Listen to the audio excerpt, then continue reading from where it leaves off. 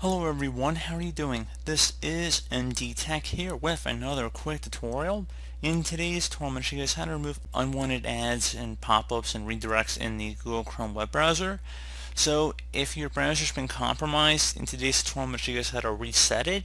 Now this will delete any extensions and bookmarks you have on your account unless you're currently synced with your user account. So if you're using your email to sign in, it should be able to automatically sync everything up. However, you might not have that ability so if you just want to go and select the menu icon and then select more tools and extensions you can see a list of extensions over here so you might want to take note of what they are before you go ahead and clear everything out.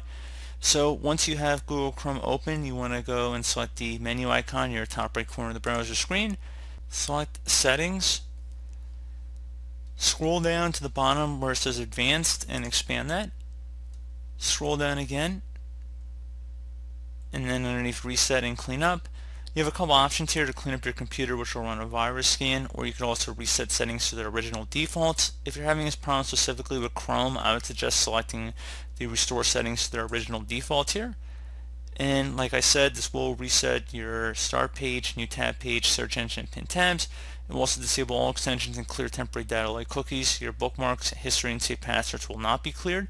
So that's a little bit different. You can discount what I said about removing bookmarks, so not quite as bad. And then you can go select reset settings.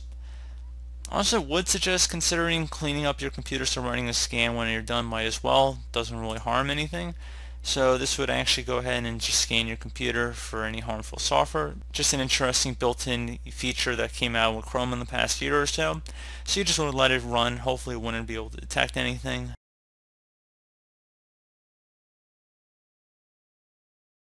And if it did find anything, you could just remove it or choose not to remove it. So pretty straightforward and intuitive process. So as always, thank you guys for watching this brief tutorial. Do hope I was able to help you out, and I do look forward to catching you all in the next tutorial. Goodbye.